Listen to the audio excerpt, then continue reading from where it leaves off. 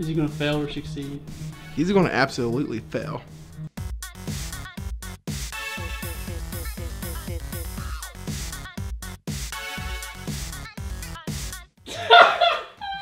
He just started. Oh, as long as they know I started with the full gallon, that's good. Last two weeks you've been like, man, I need milk so bad. You finally got a whole gallon of milk to yourself and you're gonna puke it all up in the next five minutes.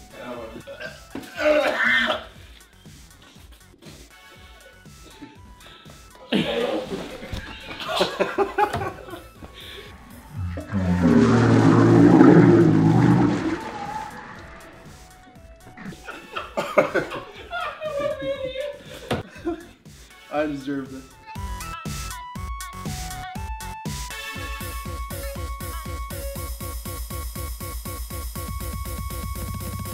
How can you see out of this? See it now.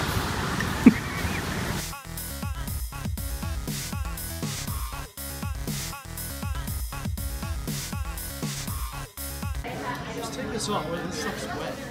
Everything's wet. Alright, Except for take the- this off. Except, Chris, Look at your shoulders. I brought a couple gats with me. The reason I clicked on that video is to see the gun show, bro. See that gun. I think it's got a couple dents in it. What do you guys think? I think the writing on it might actually be more dangerous. I had a rough decision today. I had to choose between my college graduation ceremony or medieval times.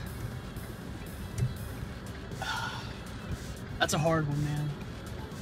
Medieval time!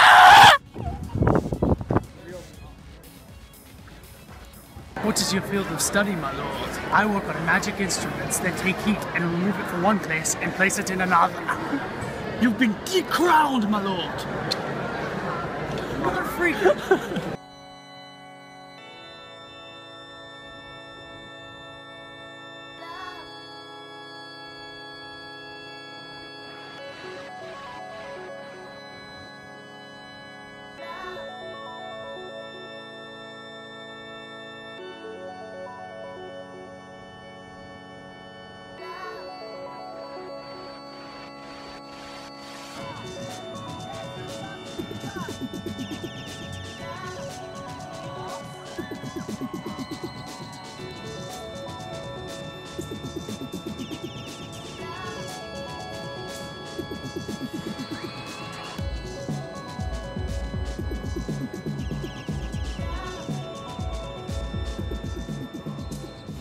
All right, so apparently, what happened? That's the dumbest story I've ever Just heard. tell the freaking story.